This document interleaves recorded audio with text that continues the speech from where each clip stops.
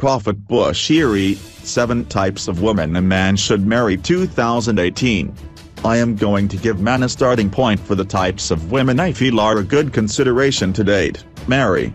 We, as men, know the goal is to have a woman we can love, cherish, hold, and make our wife.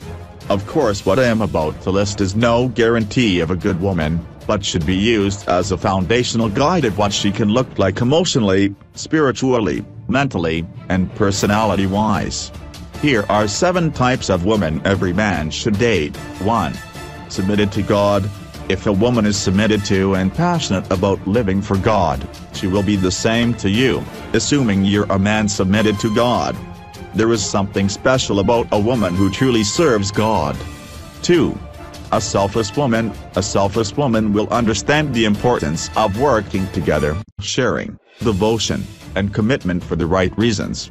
Her motives will be to help make life a little better for you. She will understand that dying to self doesn't mean she does not love herself. 3. A simple and low-maintenance woman, a low-maintenance woman tends to be focused on the truly important things in life. I've found them to be non-clingy, very rational, and supportive. She won't care about how much money you have or don't have. She will like you for who you are and is not looking for what you can do for her. She accepts you freely because she is comfortable in who she is.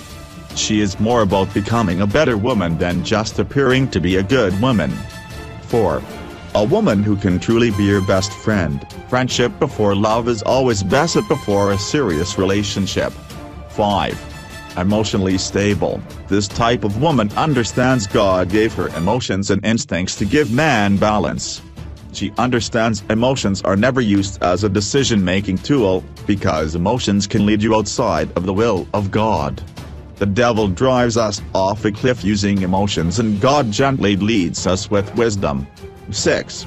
A loyal and patient woman, she is with you through the good and the bad. She's there if you're rich, she's there if you're poor, if you have two cents, two dollars, or two million dollars. Makes no difference. She is right there cheering you on and helping you to be great.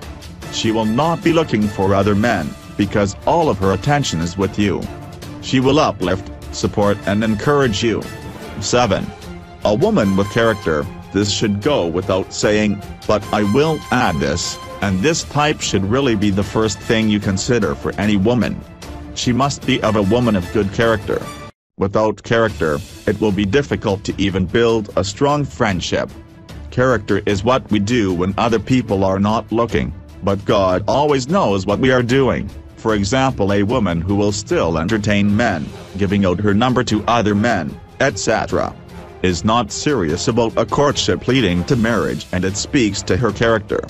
How she will honor and respect the relationship as you grow together when you are not around speaks volumes about her character.